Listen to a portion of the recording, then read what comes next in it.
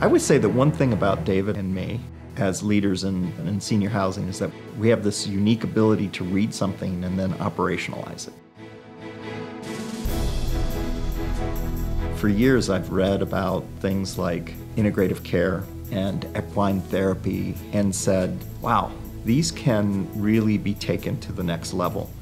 I had this feeling that if residents who have spent their lives around horses had the opportunity to be around horses, that that would be incredibly therapeutic. My wife, for example, when she gets to the age that she needs something like this, she's not going to go someplace that she can't take the horses. Oh, oh, we're looking feisty. The opportunity to be with their animals, to be with their horse, to have their horse come over and visit with them is really important. And that led me to Barbara Rector, she was doing a lot of work with the University of Arizona already about the impact of horses on mankind. My colleagues and I are researching the physiology, meaning what's happening between horse and human when they're making a friend of each other. Well, it turns out horses are very beneficial for helping people come into a balanced state of coherence. That when we're balanced, we're highly functional. The site was actually old Adobe Riding School. That's really sacred ground for us horse people in Tucson. My daughter took riding lessons there.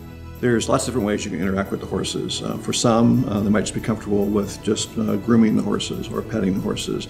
We also uh, built in a mounting area where you can actually get up onto the horse. So we'll, you know, work with our residents on their capabilities and their interests and, and meet them wherever they are and this 93 year old lady, and she and Brown, they have this huge connection. I mean, from the get go, it's like this horse knew her and she knew him, and here they are coming together. Um, was encouraging her to stand safely because she's even littler than me, little 93 year old, and um, he's like, "Fine, go right ahead. I'll I'll just wrap around you.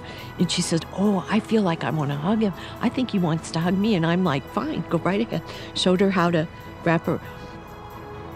And she turns to me, and Anna, she said, I'm 93 years old. I have never even touched a horse. This horse is loving me. I'm loving him. I feel so strong. So all the research uh, tells us there's some very magical healing properties uh, to the horses. And with our partnerships with the University of Arizona, we'll actually be able to study that and quantify that. So we're very excited about that. People like to be with their animals and animals like to be with their people.